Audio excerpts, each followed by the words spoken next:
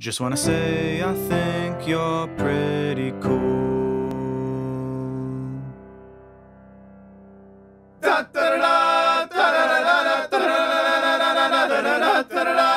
you guys ever played Super Mario World and got a game over?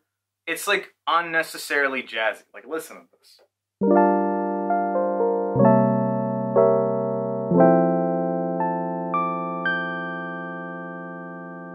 Like, I'm not even mad, I just died.